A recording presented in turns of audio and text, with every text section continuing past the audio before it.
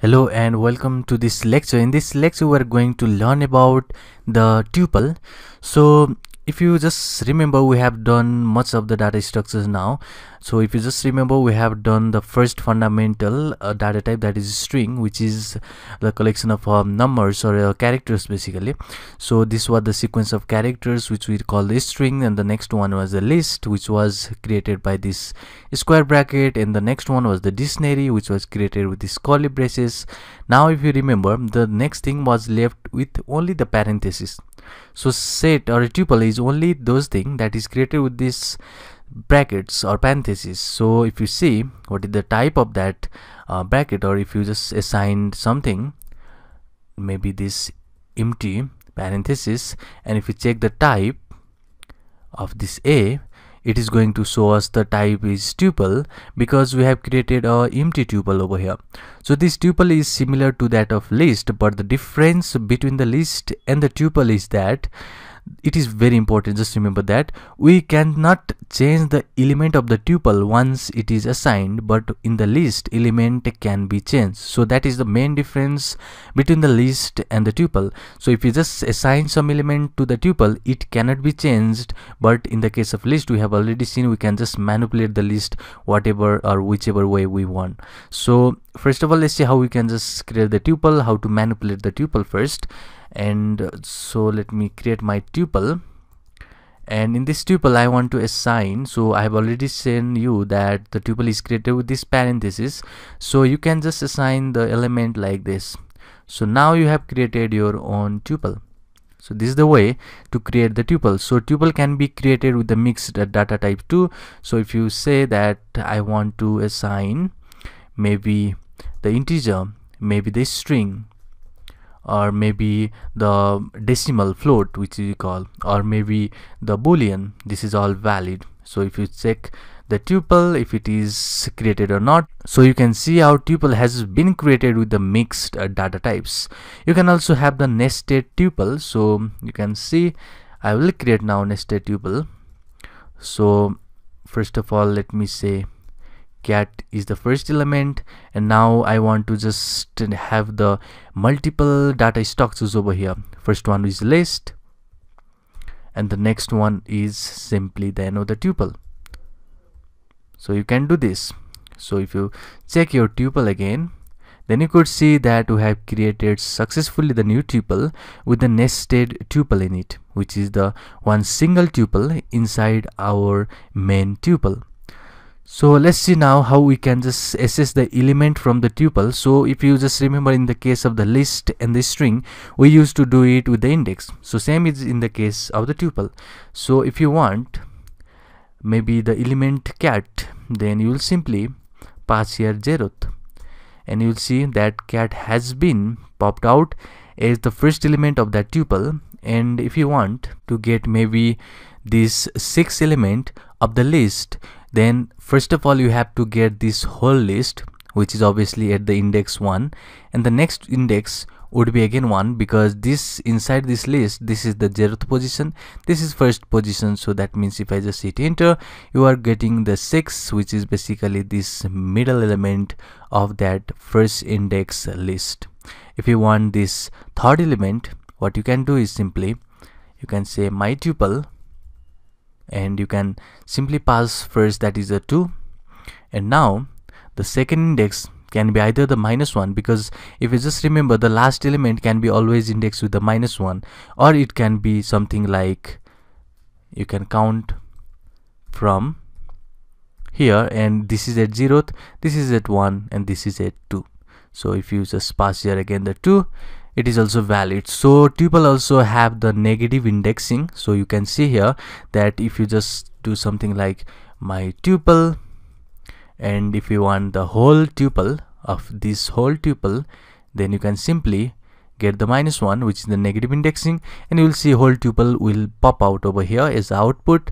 That means it will support the negative indexing too.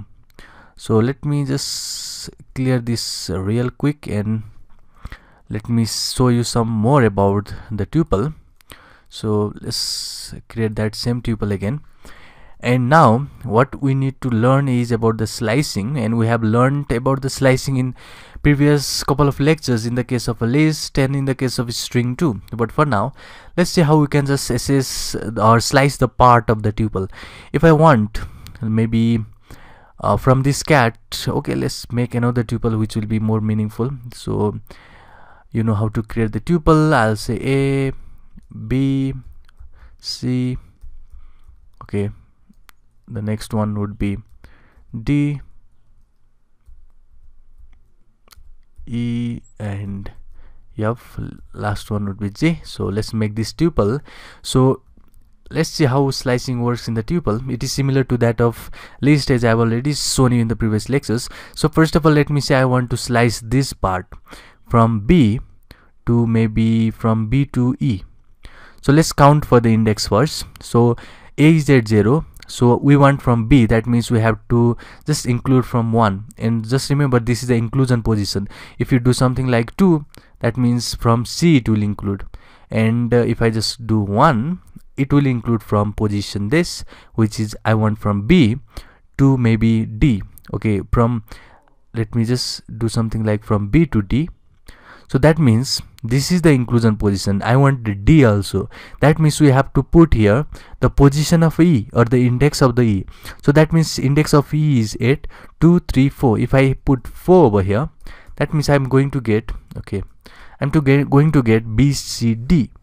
But if i do something like my tuple and if i just want the bcd if i want bcd but i just made 1 2 3 if i just put the position of only d then you are going to get bc only.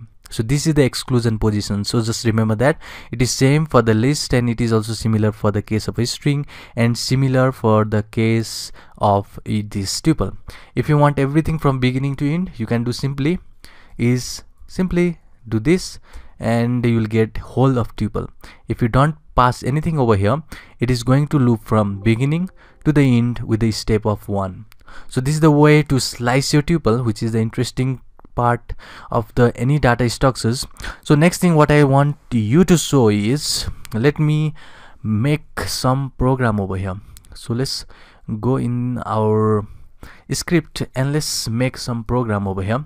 So let's see if i just make uh, dictionary. This is our dictionary and i'll say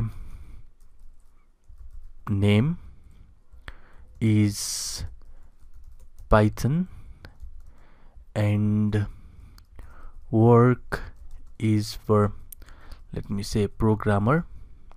So if this is our dictionary and if i say for i in or basically for key value in this and if i just want to print this maybe by formatting is or this way if I want to format maybe with key and value let's see how this work. And we are printing over here. So let's see how this work. Let's save this first and let's print this pressing F5 it is going to show us error too many values to unpack. So if you just remember we have learned dictionary in the previous lectures but I haven't told you one thing that is this dictionary is not iterable. So you cannot loop. So this for loop is not going to work in the case of dictionary.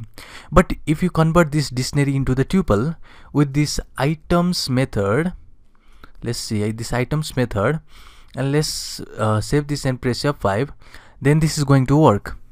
So what is happening over here is let me show you.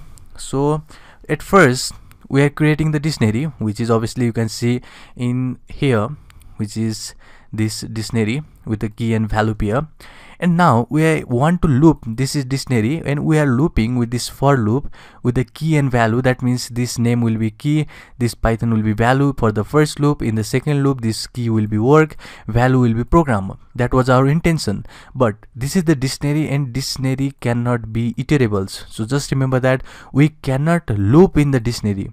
But if you convert this dictionary into the tuple or into the list then it is iterable. So normally in the case of real world programming we normally convert this dictionary into the tuple so as to loop in the tuple. So if you want to loop in this dictionary you will simply call this items method in the dictionary which is going to just convert this dictionary into the tuple. And in the tuple you can just loop.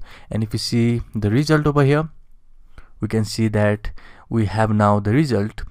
So if I show you over here let's uh, copy this dictionary go back paste it over here and if I say dot items then you will see the dictionary has been converted into the tuple now which is having this tuple. So you can see clearly over here it is although the dictionary object but it has converted into this tuple so this is first tuple.